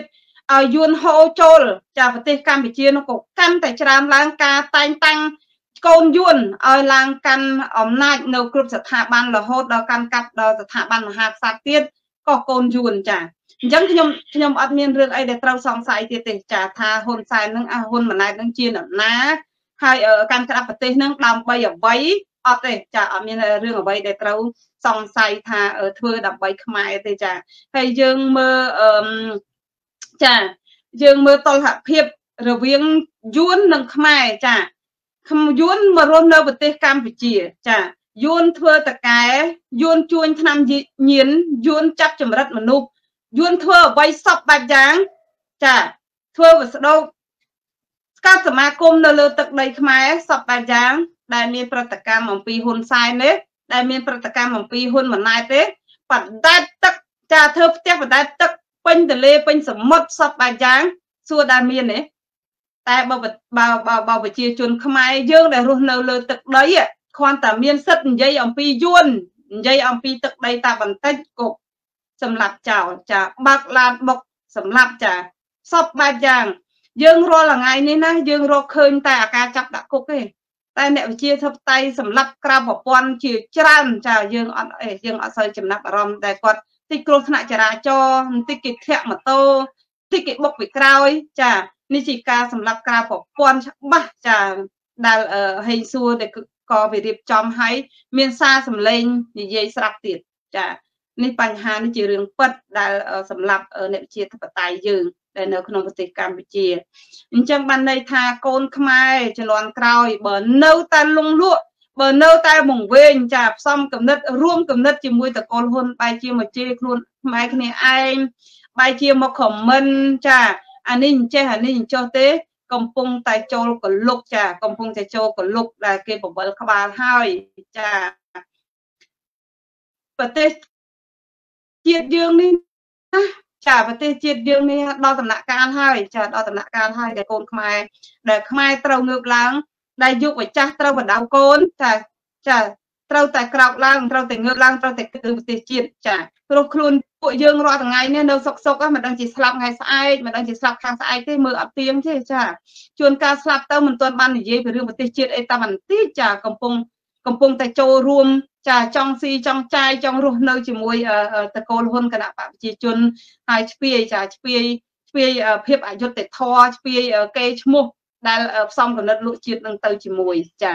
នេះជារឿងមួយដែលសំខាន់ដែលខ្មែរយើងត្រូវត្រូវគិតទាំងស្រុងចាយើងឃើញចាហើយហើយសួរថារបបមួយដែលមានលទ្ធិប្រជាធិបតេយ្យមិនដែលអ្នកណាគេគម្រាមកំហែងថាកូនគិតពីរឿងជាតិគេទៅចាប់កូនគេទៅចាប់ប្រពន្ធទៅគម្រាមសពបែបយ៉ាង ដើម្បីឲ្យអ្នកនៅក្រៅប្រទេសឬមួយគេឲ្យអ្នកគិតពីរឿងសង្គមមិនឲ្យនិយាយពីសង្គមមិនឲ្យធ្វើប្រយោជន៍ដល់សង្គមវាអត់ដែលមានទេចាវាអត់ដែលមានទេអានេះគេហៅថាជីកឆ្មៅជីកទាំងរឹសដូចដូចប៉ុលពតវានិយាយចឹងចាជីកឆ្មៅជីកទាំងរឹសគឺសម្រាប់ចាសម្រាប់គឺឲ្យសល់តែម្ដងចាសម្រាប់អធិវិជាធិបតេយ្យសម្រាប់វិបត្តិផ្លូវចិត្តសម្ពាធផ្លូវចិត្តគឺអត់ឲ្យខ្មែរនឹងរើរួចនឹងតែម្ដងចាចា នេះចំណុចដែលសំខាន់ដែលខ្ញុំមើលឃើញរបបតកូលហ៊ុនកាន់កាប់ប្រទេសហ្នឹងគឺបរិយអំណាចទៅដោយតឡាការទៅដោយមាត់ខ្លួនឯងហ្នឹងចាហើយជាពិសេសអ្នកនៅស្ថាប័នក្បែរក្បែរខ្លួនហ្នឹងបើអ្នកណាដែលស៊ើបទៅចាដែលគេស្មោះត្រង់នឹងជាតិដែលគេគិតពីរឿងសង្គមគាត់លួចបេះចាលួចកំចាត់ម្ដងមួយម្ដងមួយចាហើយការរៀបចំជាប្រព័ន្ធចានៅក្នុង រៀបចំមិនមែនថានៅតែក្នុងគណៈបព្វជិជនទេចានៅក្នុងអ្នកវិជាធិបតេយ្យនោះក៏មានដែរចាការរៀបចំហ្នឹងគឺគឺកំចាត់ហ្មងគេស៊ើបអង្កេតថាអ្នកណាដែលមានលទ្ធភាពចាអាចមានដឹកនាំដឹកនាំមនុស្សបានចាប់ពី10នាក់ចាគេគេប្រើចាគេប្រើអយុទ្ធសាស្ត្រនឹងបំបីទាញមនុស្សដែលមានលទ្ធភាពនឹងម្ដងមួយម្ដងមួយហ្នឹងហើយដើម្បីឲ្យឲ្យរស់ដើម្បីគេចិញ្ចឹមចាគេចិញ្ចឹមឲ្យរស់បងថ្លៃផ្ទះថ្លៃបន្ទប់អីចឹងការហូបចុកអីតិចតួចចឹងទៅឲ្យជួយធ្វើការគេ ធ្វើការគេអញ្ចឹងទៅវាវាមិនចំណុចខាងការងារប៉ុណ្ណឹងវាវាមិនអាចរំលាយប្រទេសជាតិបានទេប៉ុន្តែណាកុំភ្លេចថាភ្លើងដែលឆេះទៅគឺកកើតពីភ្លើងធូបភ្លើងទៀននឹងទៅចាដែលដែលអាចបំផ្លាញបំផ្លាញប្រទេសជាតិបាននិងបំផ្លាញលទ្ធិប្រជាធិបតេយ្យបាន ចាអានឹងដែលបើសិនតែខ្ញុំនិយាយទៅគេថាខ្ញុំនឹងចាមានការព្រួយបារម្ភជ្រុល ចាមានការព្រួយបារម្ភជ្រុលហើយអឺវាមិនសំខាន់ទេចាសំដៅទៅលើតែធំធំចាអញ្ចឹងអាការអាការកើតឡើងនឹងនៅក្នុងប្រទេសថៃក៏ដោយនៅក្នុងប្រទេសជប៉ុនប្រទេសនៅលើពិភពលោកនៅក្នុងប្រទេសកម្ពុជានឹងក៏ដោយចាជាការរៀបចំចាជាការរៀបចំបើសិនតែបើគ្មានលទ្ធភាពចាបើគ្មានលទ្ធភាពគេទុកឲ្យយើងនិយាយនឹងនិយាយប៉ោងមុតឆ្កុលក៏ទុកតែនិយាយទៅចាតែបើថាយើងមានលទ្ធភាពអាចដឹកនាំនៃប្រជាធិបតេយ្យ ទៅរំដោះជាតិអាចដឹកនាំប្រម៉ែប្រមូលគេចាប់ផ្ដើមរៀបចំចារៀបចំកម្ចាត់ចាតាមយុទ្ធសាស្ត្រផ្សេងផ្សេងអញ្ចឹងទៅដើម្បីឲ្យយើងនឹងអឺអឺតែអស់អត្តពលចាឲ្យកុំឲ្យមានអត្តពលអាចដឹកនាំមនុស្សបានតទៅទៀតចានឹងកុំឲ្យមានលទ្ធភាពទៅបានឲ្យសម្ពាធផ្លូវចិត្តផង ឲ្យទៅពៀតផ្លូវចិត្តផងផ្លូវកាយផងអញ្ចឹងយើងនឹងកម្លាំងចិត្តចានឹងអស់កម្លាំងចិត្តនឹងនឹងដើរទៅមុខទៀតចាចាអានេះយើងខ្ញុំខ្ញុំនិយាយហ្នឹងដូចជាចំខ្លួនឯងតែម្ដងចាហ្នឹងហើយអរគុណច្រើនបងអូនសល់នឹងដល់ម៉ោងពេលវេលាហើយចាសូមជូនពរហ្មងទៅណោះចាខ្លួនលេងដឹងទៅណា បាទតកតងនឹងអ្វីដែលបងបានលើកឡើងនេះគឺជាចំណុចដែលយើងគិតថារងគ្រោះហើយរាល់ថ្ងៃនេះយើងមើលឃើញហ៊ុនសែនហ៊ុនម៉ាណែតនឹងនាយករដ្ឋមន្ត្រីហើយប្រធានព្រឹទ្ធសភានឹងមិនដឹងអាណានៃអាណាកាន់កន្លងវល់អស់ខ្ញុំមិននេះឡើងវល់មកនិយាយចំថាមិនដឹងអាណាបជាអាណាដឹកនាំប្រទេសទេរាល់ថ្ងៃនឹងដូចជាលោកហ៊ុនសែនផងលោកហ៊ុនម៉ាណែតផងមិនដឹងមិនដឹងរាល់ថ្ងៃចង់វល់ អ្វីដែលយើងឃើញមើលគឺរបបដឹកនាំបច្ចុប្បន្នហ្នឹងគឺដូចក្មេងលេងបៃលុកបឡអញ្ចឹងបើនិយាយមួយម៉ាត់ថាមិនដឹងជានរណាមេនរណាធំជាងនរណាតំណែងតាមធម្មតាអំណាចក្នុងនឹងគឺចែកជា3អំណាចនីតិប្រតិបត្តិអំណាចនីតិបញ្ញត្តិនិងតុលាការហើយរាល់ថ្ងៃហ្នឹងគឺរាល់ថ្ងៃគឺហ៊ុនម៉ាណែតជាមួយនឹងហ៊ុនសែនហ្នឹងគឺកាន់ឯងលពីសពេញហ្នឹង រាល់ថ្ងៃគឺដូចជាហ៊ុនសែនទៅកាន់អានេះពជាវានេះគម្រាមអានេះអូហ៊ុនម៉ាណែតនឹងទៅកាន់អានោះអានោះស្អីចឹងទៅហើយនៅខ្លះគេនិយាយថាហ៊ុនម៉ាណែតដូចជាមិនសូវដានលូកដៃចូលក្នុងរឿងផ្ទៃក្នុងរបស់ប្រទេសបានទេស្រេចតែអ៊ូអ៊ូនិយាយថាមិនគឺអញ្ចឹងហើយអ ល់ពេញនឹងខ្ញុំមិនដឹងដែរឥឡូវសូមចំណាប់អារម្មណ៍គុណគុណដេតចុងក្រោយបន្តិចតទៅនឹងអ្វីដែលមើលទៅអាចស្នើទៅរដ្ឋាភិបាលលោកហ៊ុនសែននឹងមិនខ្លះក្នុងករណីបើតាមចាប់តាមចងអ្នកខ្មែរដូចគ្នានេះឥឡូវសំណុំពរទៅរដ្ឋាភិបាលក៏ដូចជាសូមរដ្ឋាភិបាលនឹងជួយគេហៅថាជួយ សម្រួលតកតទៅនឹងដកស្នេហាជាតិមួយចំនួនឬក៏យុវជនមួយចំនួនអ្នក ឲ្យគាត់នឹងបែរមកគិតគូររឿងប្រទេសជាតិរបស់យើងមកវិញបាទឥឡូវសូមបន្តិចចុងក្រោយដើម្បីផ្ដាំផ្ញើទៅលោកហ៊ុនសែនបាទសូមគោរពជ័យបាទអរគុណច្រើនលោកគ្រូហើយក៏សូមអរគុណតែអង្គការដែរអឺតកតងទៅរឿងការចាប់នេះខ្ញុំមិនមែនអង្គុយលើអេសារខ្លួនឯងទេហើយក៏សូមផ្ដាំផ្ញើដល់តកូនហ៊ុនសែនដែរតែបើចង់ចាប់គុនទេទៅចាប់កាយលើមេឃឲ្យបានតែកប៉ាវអាវទៅបាទចង់ចាប់គុនទេបាទ ហើយរឿងការចាប់រឿងការចងនេះខ្ញុំដឹងថាវាជាស្ទាត់ជំនាញជាយុទ្ធសាស្ត្រផែនការនគរការនយោបាយទៅពីលោកហ៊ុនសែនកាន់កាប់ដឹកនាំប្រទេសជាតិមកម្លេះរឿងការចាប់នេះមិនមែនត្រឹមចាប់នៅក្នុងសម័យនេះទេបងប្អូនហ៊ុនសែនចាប់លោកពូប៉ែនសវណ្ណយកទៅដាក់គុកដាក់ក្នុងរដ្ឋបាលទៀតទៅបាទរឿងការចាប់ការចងលោកគឹមសខាអ្នកនិយាយចំតែអ្នកឆ្លាញ់នយោបាយទាំងអស់ចូលរួមជាភាពនយោបាយទាំងអស់ គឺដើម្បីដំណើររកវិធីដំណើរដល់ស្រាវជ្រាវនៃប្រទេសជាតិកម្ពុជារបស់យើងដែលកំពុងរងគ្រោះបញ្ហាបញ្ហាជួបទុកការលំបាកបាត់បង់សិទ្ធិសេរីភាពអាហ្នឹងអត់មាននៅលទ្ធិជាតិបតៃគឺអ្នកនយោបាយគឺត្រូវរបបប្រវត្តិចាប់ដាក់គុកដាក់ក្នុងប្រវត្តិអស់អានេះគាត់តែរឿងការចាប់ការចងនេះវាគាត់តែជាការគម្រាមនិងកំហែងដើម្បីបំបត្តិកម្លាំងទឹកចិត្តតស៊ូដើម្បីលទ្ធិជាតិបតៃប្រកាសតែតែវាចាប់បានតែត្រីនៅក្នុងកត្រកទេបាទត្រីចាប់បានត្រីនៅក្នុងកត្រកឥឡូវបងប្អូនធ្លាប់បានបន្លាញទាំង បងប្អូនធ្លាប់ទៅជាប់ត្រីដឹងជាប់បានក្តារមកក្តារស្ទើរតែចូលទៅអេមកព្រែកចេញទៅវិញបាត់អានេះខ្ញុំឧទាហរណ៍អានេះអានេះដូចជាថាអុយលេខតាចឹងក៏ប៉ុន្តែវាជាផ្នត់កំណត់មួយនៃការចាត់ផ្នត់កំណត់មួយនៃការចាត់ណានៅក្នុងប្រទេសកម្ពុជារបស់យើងវាមានតែប្របាកទេរឿងការចាត់រឿងការចងនេះខ្ញុំបានដឹងច្បាស់មកហើយមិនតែអត់ដឹងច្បាស់ទេសម័យមុនចាត់អមេរិកាទេបាទសម័យមុនសម័យអង្គការ សម័យខ្មែរក្រហមទីក្រុងសឺណែវអីហ្នឹងសម័យសង្គមរាស្ត្រនិយមអីហ្នឹងសម័យអង្គការហ្នឹងយកមកចាត់ហ្នឹងក៏គេមានតែការដែរបាទគេមានតែការដែរហើយក៏គេមកចាត់ហ្នឹងគាត់ថាគេមិនមិនចាប់ផឹកពីដូចសម័យឥឡូវនេះទេបាទមិនបាច់ក្នុងវៃវៈធ្វើបាត់ទៅលើជាសារបស់ខ្លួនឯងទេ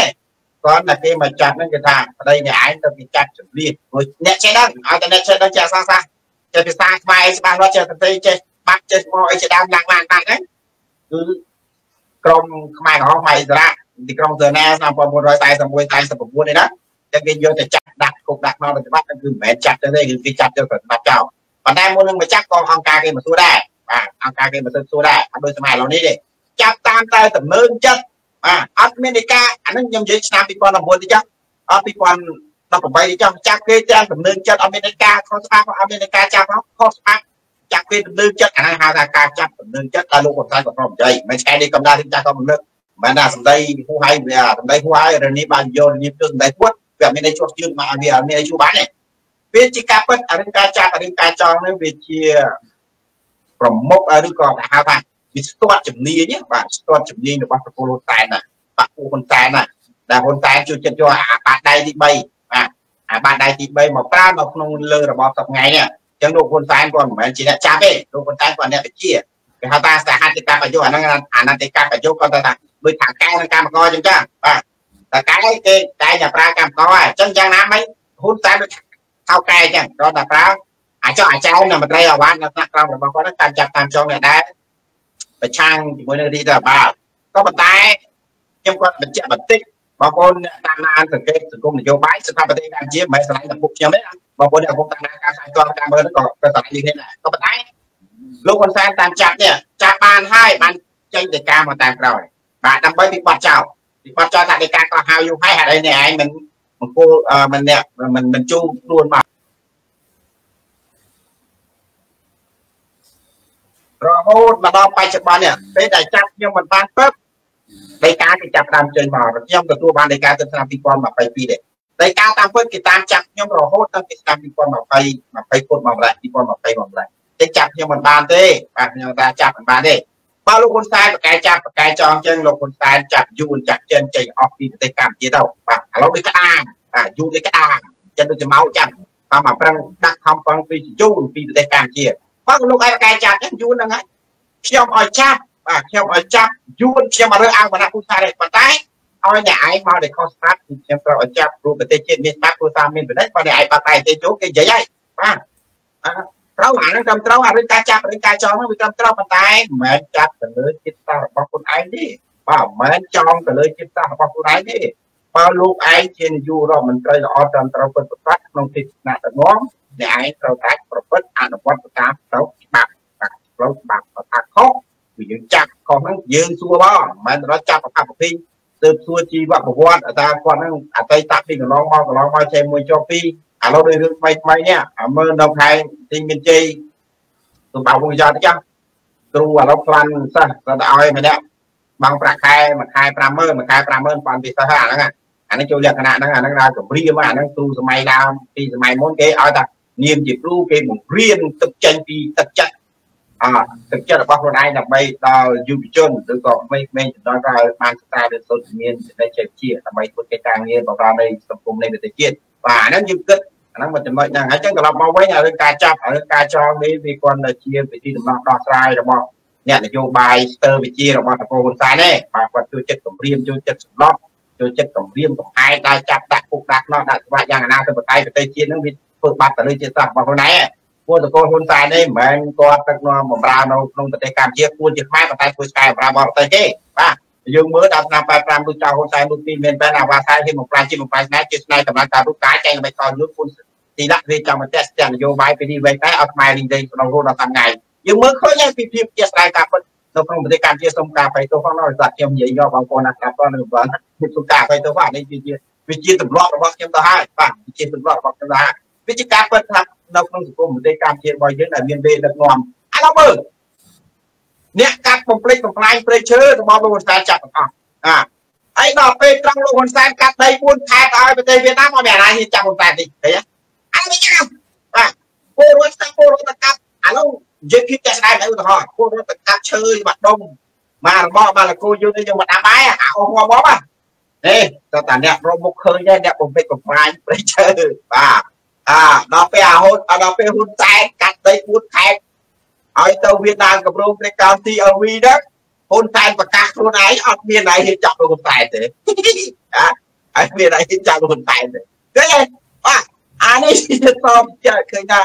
សង្គមបាក់ពលនយោបាយអញអញអញគេតែអញអាហ្នឹងអញធំ như អញចង់ចាប់អញឬអញធ្វើមិនហ្នឹងអញអត់លុយអត់ដូចខ្ញុំដល់មកលេងអាវត្តប្រាស៊ីអស់រៀកបាត់ពេកតិចចោលទៅតិច សាច់ជ្រូកបំពេចបំផ្លាញប្រេងចេះទីពួកអាចទៅក្នុងសាច់នេះប្រសពឈ្មោះមែនអានេះវាកំពោហើយតែអានោះវាទៅបញ្ជាក់អញ្ចឹងអាពលរដ្ឋណាកាប់អស់មកដុំយកទៅដាក់បាយហូបទៅណារមុខសញ្ញាឃើញហើយអ្នកបំផ្លាញធម្មជាតិប្រេងឈើអាដល់ពេលហ៊ុនសែនកាត់ដីមុនខែទៅឲ្យមកទៅគេហ៊ុនសែនប្រកាសមានអាហ៊ានចាប់ហ៊ុនសែនហើយបាទណានេះអ្នកណាមិនហ៊ានចាប់លោកហ៊ុនសែនទុកឲ្យទុកឲ្យប្រជាពលរដ្ឋអ្នកចាប់បាទទុកឲ្យប្រជាពលរដ្ឋអ្នកចាប់ទាំង16នាក់តែចាប់លោកហ៊ុនសែនម្នាក់បានអត់ បើចាប់លោកហ៊ុនសែនខ្ញុំជឿជាក់ថាលោកហ៊ុនសែនគេកំពុងពួកពលរដ្ឋនៅគ្រប់បណ្ដាប្រទេសបាទឲ្យតែតកោហ៊ុនសែនហោះទៅប្រទេសណាពលរដ្ឋត្រៀមចាក់បាទពួកតាតាតហ៊ុនសែនត្រៀមទៅប្រទេសណាគឺពលរដ្ឋគាត់ឡំចាប់អាជាមួយលោកហ៊ុនសែនគាត់ទទួលស្គាល់ថាខ្លួនគាត់ជានាយករដ្ឋមន្ត្រីអត់ត្រឹមត្រូវអត់មើលដោយកៅលោកពូអីគេអុចទូច ចាគេគាត់ទទួលស្គាល់លោកហ៊ុនសែនអីមកតំណប់ជើងអាហ្នឹងវាសាកសមមកតំណែងទូទីរបស់គាត់ឲ្យឲ្យខ្មាត់នៅមុខជនជាតិបរទេសគេអញ្ចឹងទៅអាហ្នឹងនិយាយមានចាក់ស្ដានេះទឹកចិត្តបាទអានេះទឹកចិត្តក្នុងនាមគាត់ជាពលរដ្ឋជាម្ចាស់ប្រទេសបាទគាត់មិនបន្លាយអានឹងនិយាយល្អស្ដាប់មានប្រើត្រាតាមចង់ផឹកមិនចង់ប្រើប្រើតាមតាមវិដីបាទណាបងប្អូនអាពាក្យបុរាណរបស់ខ្មែរមិនមែនអេចេះតែយកលើវាទៅបុរាណរបស់ខ្មែរយកមកធ្វើការពីទីចារណាអត់ទេអានោះវិទ្យាការពិតវិទ្យាពិតនៅក្នុងប្រទេសកម្ពុជារបស់យើង ទៅលោកហ៊ុនសែននិយាយល្អទៅចាក់ទៅលើក្បាលគេបងក្មេងជេរថាគេឆ្លើយអាត្រង់ចំណុចគាត់ម៉ែស្ដេចឲ្យស្ដេចក៏ខ្ញុំដែរដែរឃើញអាណាហ៊ានចាក់ប៉ុន្តែអត់ទេមានអាណាហ៊ានចេញទៅការចាក់អត់ទេបាទហើយសាខ្ញុំមើលជេរមើលប្រោមើលអាក្មេងឆ្លើយអាក្មេងអត់ពូអត់អត់អត់បានការសិក្សាអប់រំអាហ្នឹងឥឡូវលោកហ៊ុនសែនគាត់ជាអតីតក្មេងគាត់ដែរតាបាទឥឡូវយើងមិនបានយកពងមន់បញ្ចូលលំដុំថ្មទេបាទខ្ញុំប្រជាពលរដ្ឋមិនមែនទៅចង់ជួលមួយដុំថ្ម ខ្ញុំក៏ពងមន់ជួលតែប្រាក់ដុំថ្មក៏ដុំថ្មលេងទៅវិញជាជ្រះហើយប៉ុន្តែអ្នកដែលត្រូវបែកខ្ញុំសួរថាគេលើកបង្គំវិញបាទអត់ទេប៉ុន្តែយើងទៅបាមួយយើងទៅគិតក្នុងនាមគាត់ជាថ្នាក់ដឹកនាំប្រទេសជាតិយើងទៅគិតចាស់ចាស់ណាបងប្អូនបាទឥឡូវយើងគិតថាគាត់ប្រកាសក្តែងក្តែងថាគាត់ជាអ្នកបំផ្លាញព្រៃឈើកាត់ដីឲ្យទេហើយមានអាជាចាប់ទៅតែបាទអីបាក់ពលនិយមគាត់នេះគេពលនេះលេខខូចបាទពលនេះលេខខូច អពុរដ្ឋនិយាយបើចាក់ជាបរដ្ឋតែចង់ព្រោះលោកមានរឿងបាទព្រោះមកគាត់រូបជាតិអាហ្នឹងនិយាយចឹងហ្មងខ្ញុំចង់ប្រើពណ៌រៀបរូបគម្រើគ្មានសិលធម៌ជីវធម៌ជាមួយនឹងលោកតា